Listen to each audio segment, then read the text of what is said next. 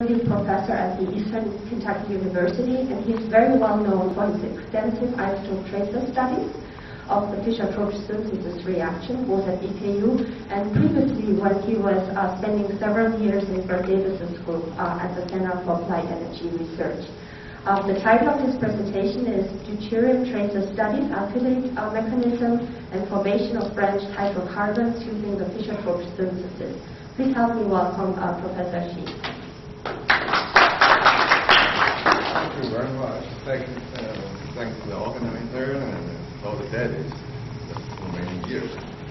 Okay, today I'm talking about the European tracer study and some I did in Dr. Davis group and some at the EKU. And I talk and then talk about the mechanism for uh, cobalt catalyzed uh, reaction.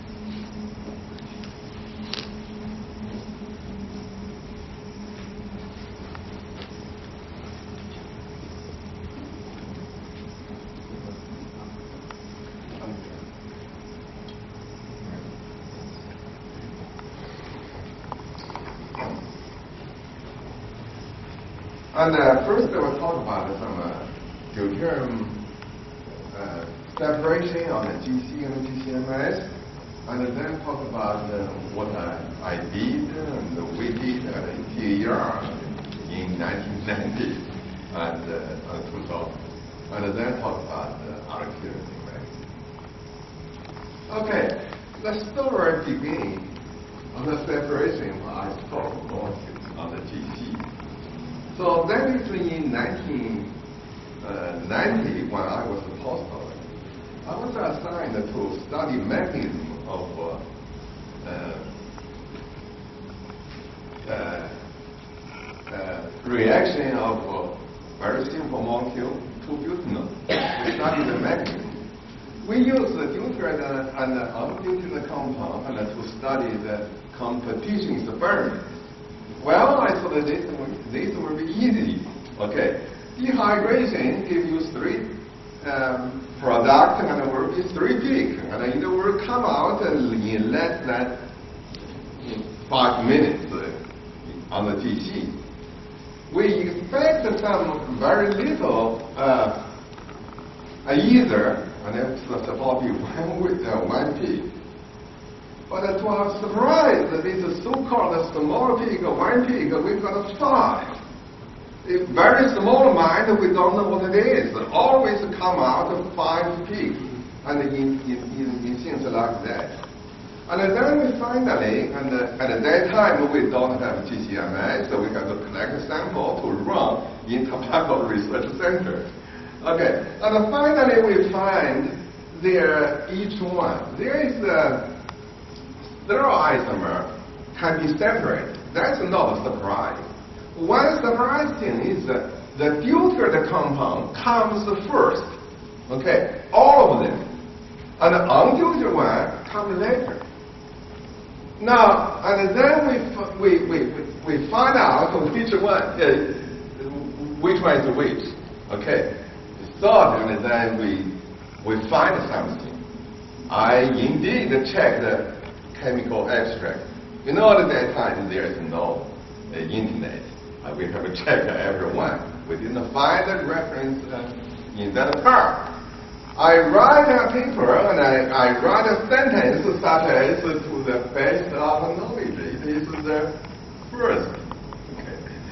I talked to uh, Dr. Davis and I said, wait a moment, wait, when, when you write this sentence, you have to make sure and he picked up the phone, called his friend at the University of Tennessee.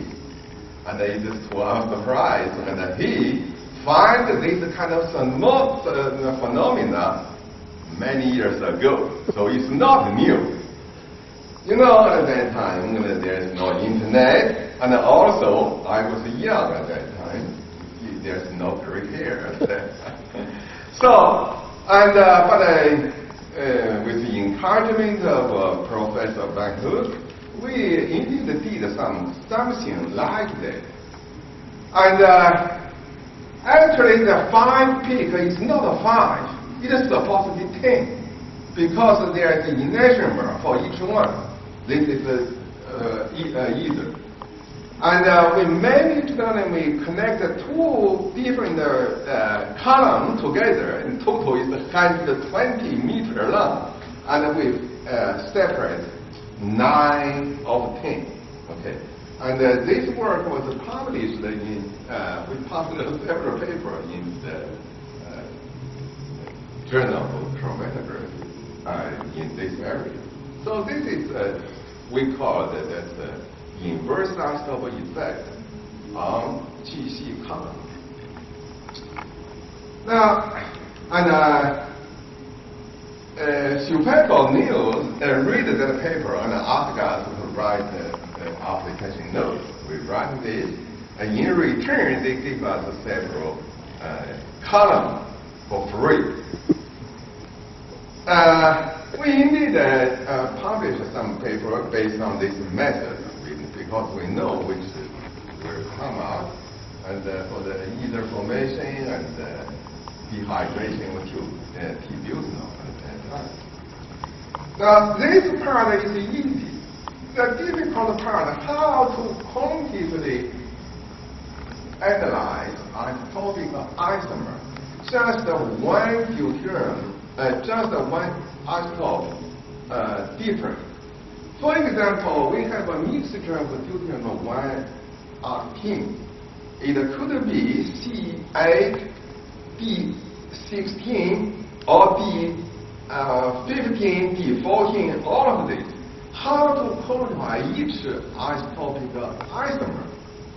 Now, at the same time, we have we do have a new uh, GCMS. So if you for this one peak, if just uh, in the on the left, you will find that the measure is uh, uh, D16. Okay, and uh, that is the, that uh, deuterated compound comes come first. If we uh, make a measurement on the right, and then we will give you hydrogen containing compound. And if in the middle, well, the ratio is totally different. If you make conclusion based on each one of them, and certainly you are going to get the wrong uh, conclusion, wrong answer. So what we should do is uh, maybe uh, measure all of this. So this for that peak you have uh, uh, H4, H3, H2, and H, and also uh, H0. So and if you use uh, molecular ion to analyze all of this, certainly that will be uh, give you correct uh, analysis of this mixture.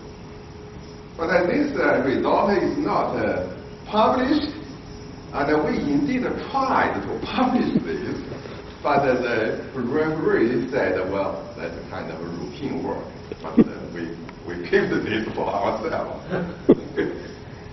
now, since we know this, we want to we, want to uh, do some uh, research in the real heliotrope area.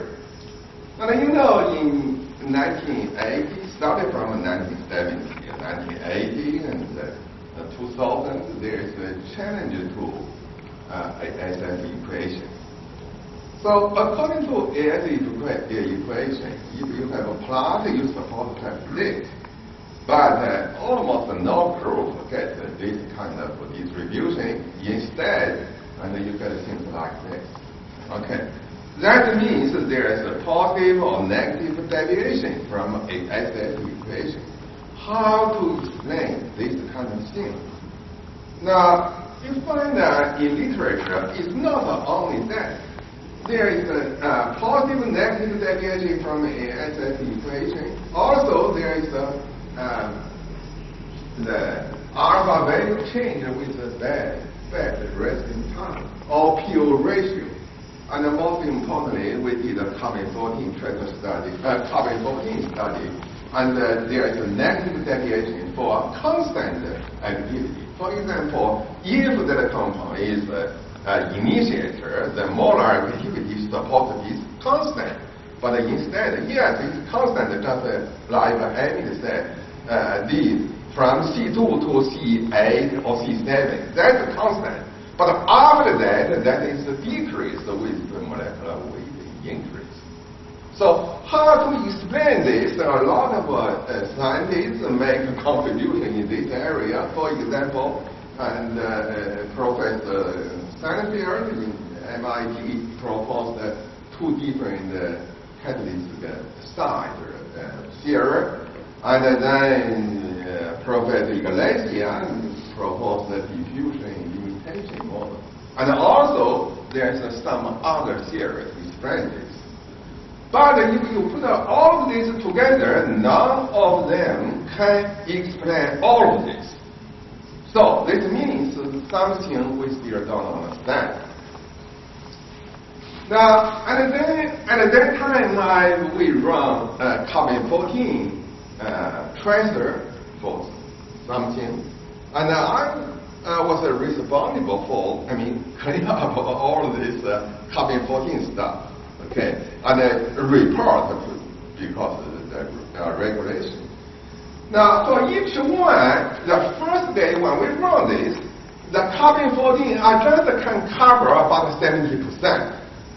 So whereas the other almost 30% carbon 14. So therefore, I have to pick up the next day. And the next day, I got about 20%, and even six days later, we still got a lot significant of uh, carbon-14 material. Now, what this means? This means uh, that there is a radioactive compound accumulate in the reactor. So we cannot uh, get. We think we brought the carbon-14, we stopped, we collect all the uh, sample, but actually there are significant amounts here in the reactor. Now, for carbon-14, we cannot uh, determine each one, but uh, we can do this use uh, uh use deuterium because we can use the GCMS to analyze each one. So what we did is uh, we run the uh, CO hydrogen first, and then switch the to CO and the deuterium. Okay, if there's no accumulation, and then the product is supposed to be, all of them, a deuterated compound.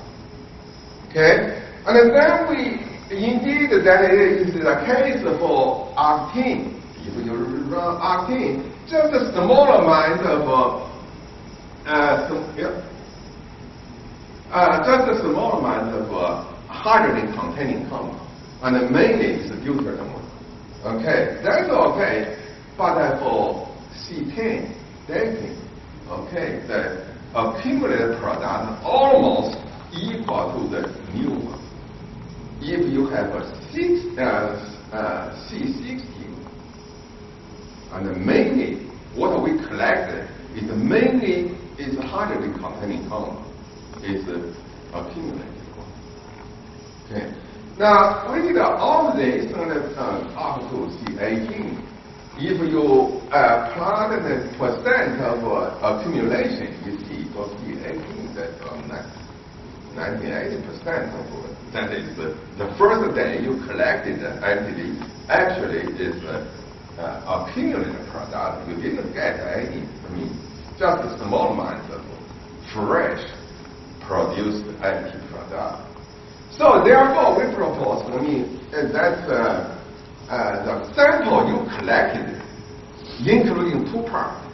One is fresh, freshly produced empty product, and then is uh, another part is uh, uh, accumulated product. And then we can use uh, the equation to calculate each one. If we know for particular reactor, the fraction of uh, accumulation. Now, this uh, result means that ASF equations here work. So we don't need to modify ASF equation. We don't need, uh, and we use this equation to explain all these uh, uh, chain length related phenomena. Okay. Now, for example, how to solve this problem? we can solve this problem when you need the alpha value for a, a reaction. And then you can just make a switch. We did that for a uh, catalyst. For example, from C from C2 to C8, there, there's a, uh, we plot there's a uh, alpha value. And for the from C, uh, C9 to C16, there's another alpha value. And these two parallel to each other. So therefore, using this one can, uh, can uh, solve a little bit about this problem. Now, and also there's another ch uh, challenge to the uh, to the ASF equation, including uh, paraffin to olefin ratio. And uh, Professor Iglesias explained this using transformative effect to explain this. And uh, what he explained is the result this. Okay. But this one is not a true pure ratio of uh, heterotrophic reaction. The true one of the switch experiment is got in the red line. It's almost constant. Yes, there is an increase, but just a little bit. Therefore, you don't need any theory to explain this. It's already there. Okay. That's, uh, that's, uh, that's uh, uh also based on that uh, uh, experiment.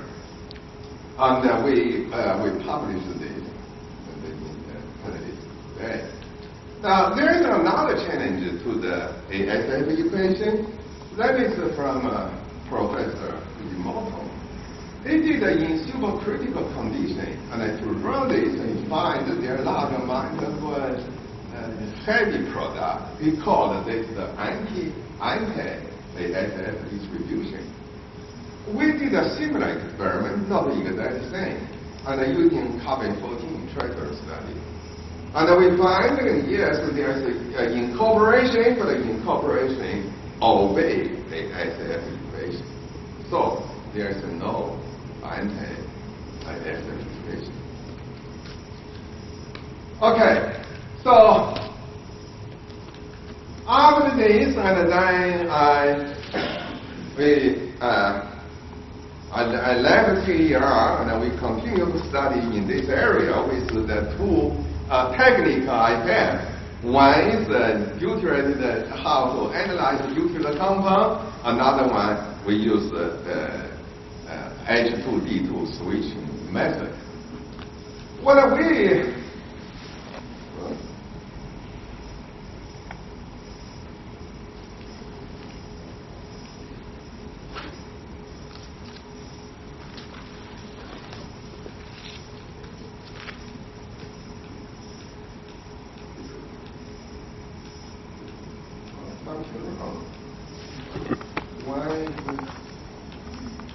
No.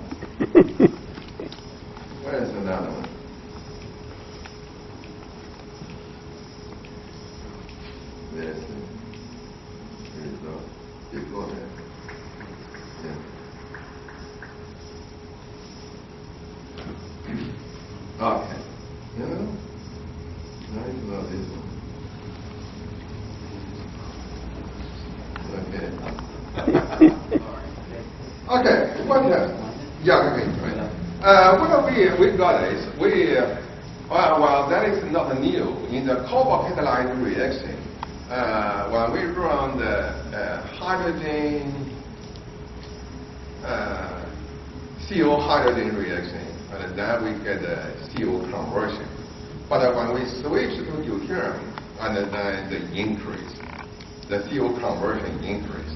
So this means when you have a deuterium and the reaction rate increase, that's the inverse Antonov effect. Okay. Now, for the uh, competition experiment, we use equal amount of deuterium and hydrogen as a uh, uh gas. And from this reaction, we find for each for the compound from C6 to C24,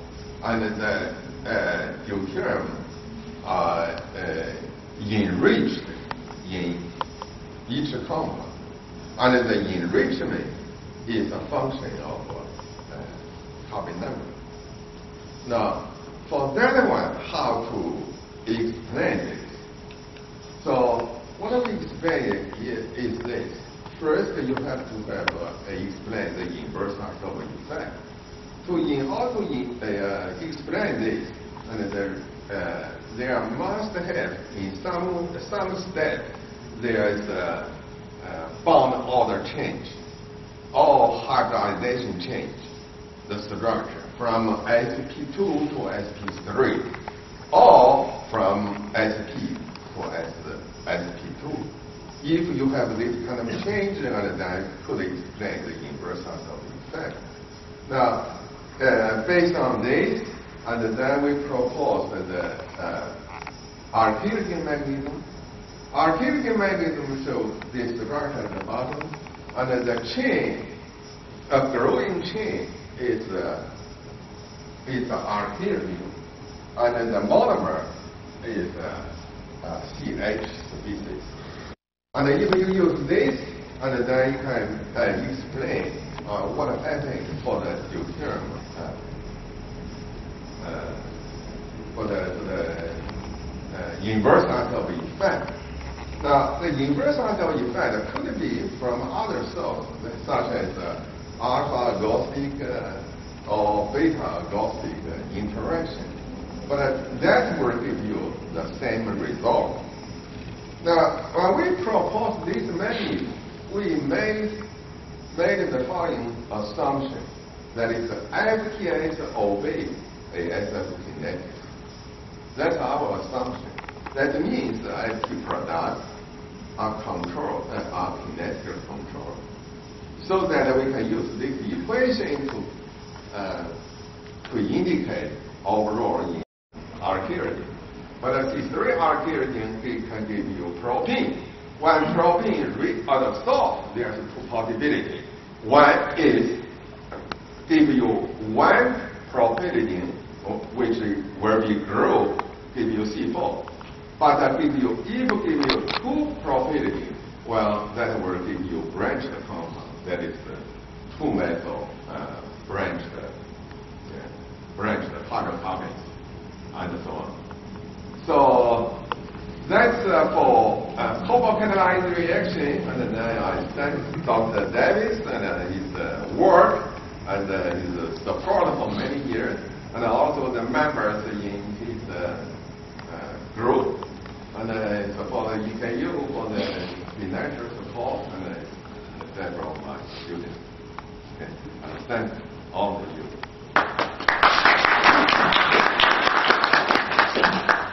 Thank you very much. And we have um, maybe time for a couple of short, short questions. Yes.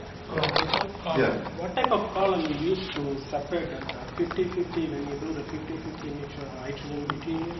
What type of column you use to separate hydrogen from oxygen? Uh, isomer. Uh, we use uh, SPB5. DB5? SPB, oh, yeah, PB5. is the Is same. it a column to separate all the isotopomers?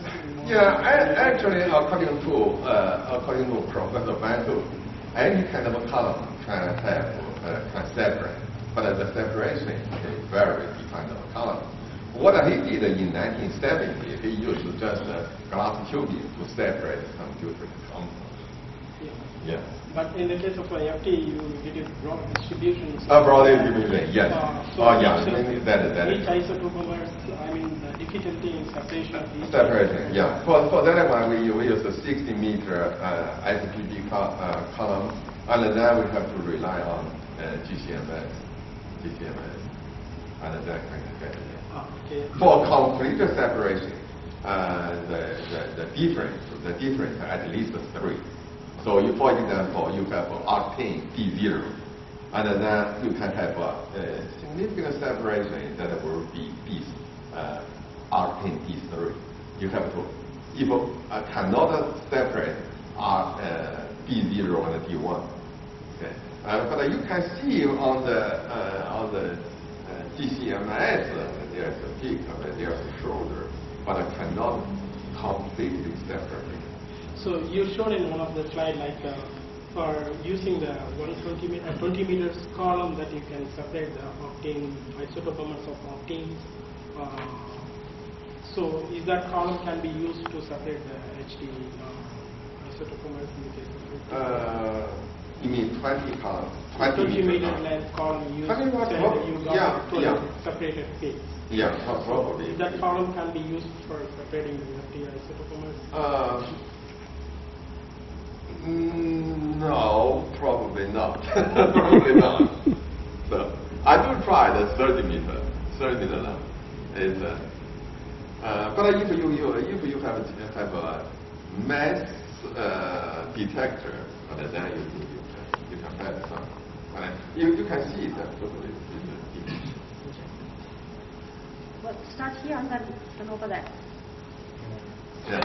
Thanks for a very nice presentation. Okay. Um, I was uh, thinking about the mechanism you showed. Yeah. And since yesterday I've been presenting about stable C2, C3 species on the surface.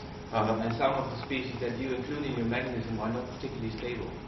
Uh, I was wondering if you can make it match or, or have a similar mechanism but using more stable species.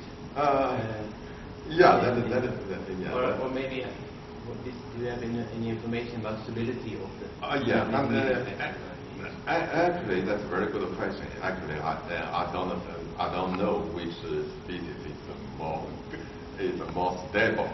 Uh, but I just think that it they have to go to, goes together. I think that alkylidene probably is, uh, we can consider that as an intermediate. So probably we could have find some way to, I mean, to uh, to determine our purity, the green chain, and uh, that would that could be a, a step of species. But uh, not the most at all. well. The draw the diagram, at least from the close spectrum. I see. Is not, so the alkylidyne would be more stable. uh, dying? Alkylidyne. so Ah, ah, okay, dying. CR, Okay. uh, like the CH, but then R. Okay, Pro- probably it goes through through this, but uh, uh, that is that is uh, stable species not uh, necessarily produced in versa. uh, probably it goes through alkylidene and then goes to some stable species and then go to another carbon carbon formation. Probably that's uh, uh, Professor Weinstein. They did some calculation using uh, reaction, and then probably that that that is what it should. Well, we can talk about it. Okay. Yeah, I think it would be great if you discuss Yeah, the sure. And one more question, Dr. So with the, with the olefin paraffin ratio, Okay. carbon number dependence there, yeah? Yeah. It turns out that the olefin, that's a secondary reaction involved to a high extent with the cobalt catalyst, yeah? Yeah. And so this explains much how the olefin paraffin ratio changes. The secondary reactions, these are no longer the primary products. This may be different with the iron catalyst. For instance, the Iglesia picture, there are Yeah. only primary olefins. Yeah? He, he doesn't have in it so much the reabsorption of olefin on other sides. Yeah? Yeah. So there's some confusion in the literature. Yeah? Oh yeah, yeah. Uh, that, that, that's what we right now we are conducting the uh, inverse Lyophil effect and uh, enrichment in iron catalyzed reaction. We, we do find what you, you, you said for the paraffin olefin ratio when there's something uh, very very strange, and uh, actually the uh, two olefin increase. Okay, one olefin decrease. So clearly there is a secondary reaction. Definitely. Yes. Well, thank you very much for the presentation, for the discussion.